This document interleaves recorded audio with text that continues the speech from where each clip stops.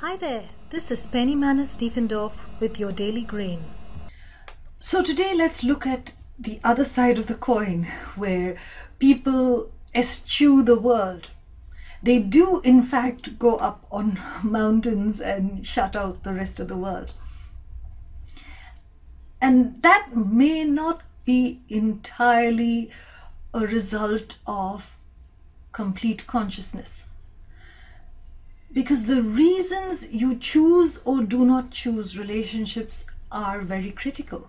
So, if you are choosing to isolate yourself because of bitterness or disappointment or frustration or simply a lack of trust in your fellow man, that is probably not terribly good for your soul either.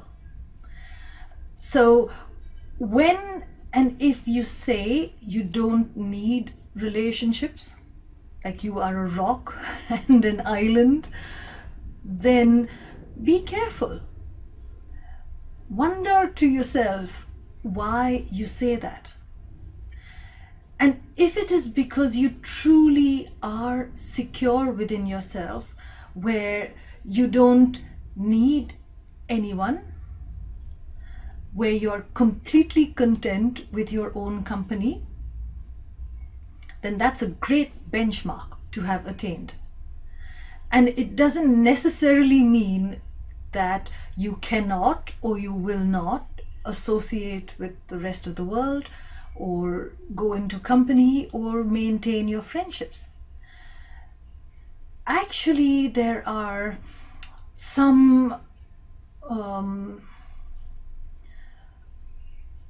lines of thought, shall I say, uh, or some processes of religions that require people to eschew the world and to leave aside their previous friends to tread what is supposedly a higher path or certainly a different path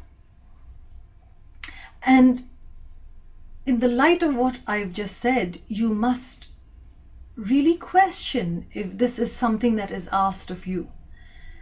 Is it in fact natural and does it in fact feel like a higher level of being or a higher process of thought, if you like?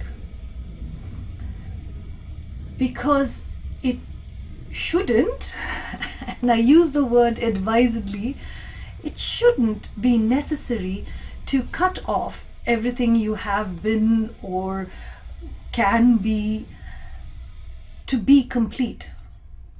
In fact, you integrate what feels true and you integrate what is natural. So be wary of ideas and ideologies around relationships and investigate always within yourself whether it feels true.